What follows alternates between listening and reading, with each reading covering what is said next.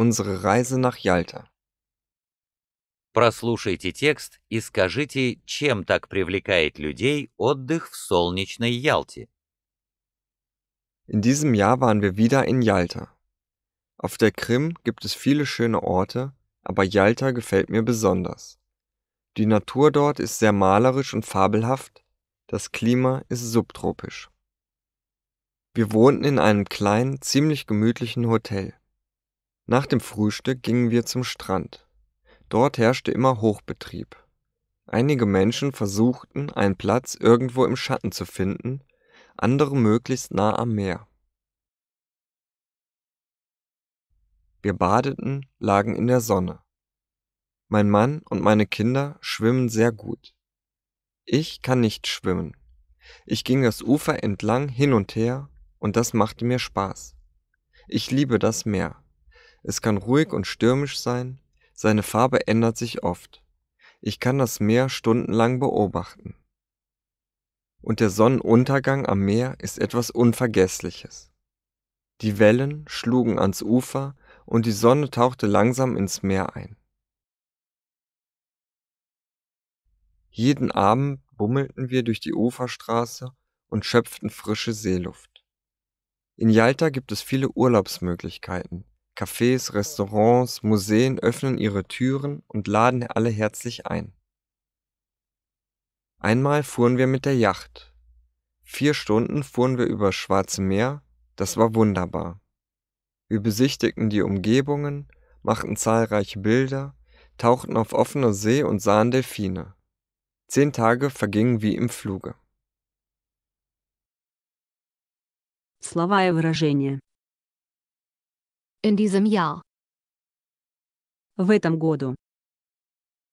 Auf der Krim. В Крыму. Dort herrschte immer Hochbetrieb. Там всегда царило оживление. Im Schatten. В тени. Sonne. Солнце. Das Ufer entlang. Вдоль берега. Sonnenuntergang. Закат солнца. Etwas Unvergessliches. Что-то незабываемое. Frische Seeluft schöpfen. Дышать свежим воздухом. Auf offener See. В открытом море. Wir im Fluge. Невероятно быстро. Составьте предложение с обратным порядком слов. Besonders gefällt mir Jalta. Мне особенно нравится Ялта. Auf der Krim ist das Klima subtropisch. Климат в Крыму субтропический. Nach dem Frühstück gingen wir zum Strand. После завтрака мы отправились на пляж. Im Schatten lagen viele Menschen. Многие люди лежали в тени. Oft ändert sich die Farbe des Meeres. Цвет моря часто меняется. Langsam tauchte die Sonne ins Meer ein. Солнце медленно погружалось в море. Viele Urlaubsmöglichkeiten bietet die Stadt. Город предлагает множество вариантов отдыха.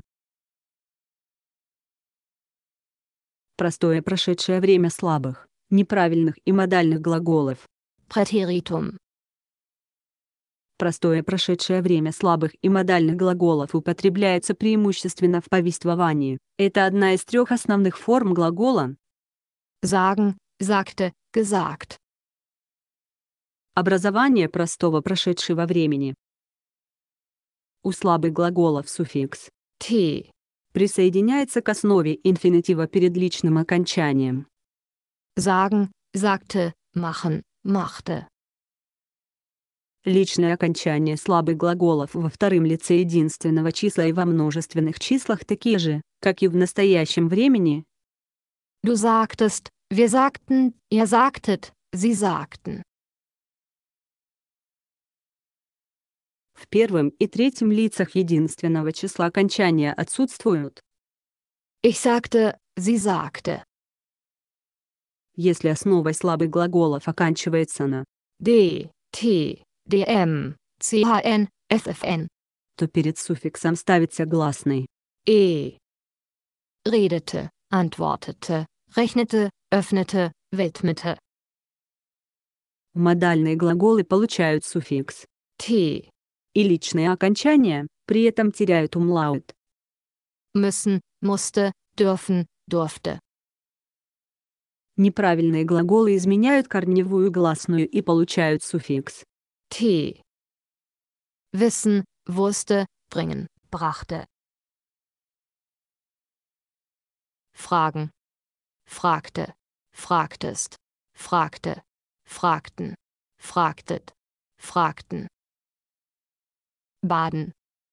Badete, badetest, badete, badeten, badetet, badeten. Wollen. Wollte, wolltest, wollte, wollen, wolltet, wollen. Müssen.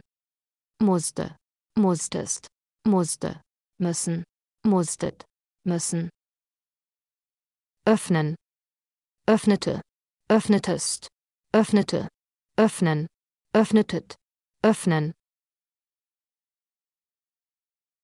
Заполните пропуски в диалоге, поставив глаголы в скобках в форме простого прошедшего времени. Helga. Hallo, Monika, du siehst so frisch aus. Warst du wieder in Jalta? Хельга, привет, Моника, ты выглядишь такой свежей. Ты уже вернулась в Ялту. Monika. Hallo, Helga. Ich hatte meinen Urlaub und wollte auf die Krim fahren. Моника, здравствуйте, Хельга. Я была в отпуске и хотела поехать в Крым. Helga. Ich weiß, Jalta ist deine Lieblingsstadt und du verbringst deinen Urlaub immer in dieser Stadt. Erzähl mir von deiner Erholung. Хельга, я знаю, что Ялта – ваш любимый город, и вы всегда проводите там отпуск. Расскажите мне о своем отпуске. Monika. Diesmal mieteten wir ein Haus für zwei Wochen. Die Lage war sehr günstig. Niemand störte uns. Jeden Tag badete ich im Meer, surfte. Mein Mann segelte. Mit unseren Nachbarn spielten wir Volleyball oder Tennis. Bei gutem Wetter wanderten wir oder machten zahlreiche Ausflüge. Wir reisten mit unserem Auto.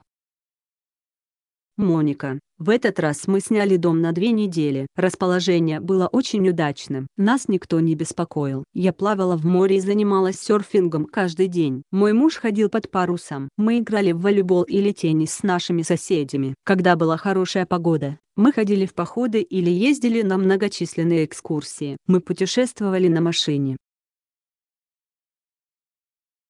Helga, machten dich Meeresluft und Sonne gesund? Хельга, морской воздух и солнце сделали вас здоровой.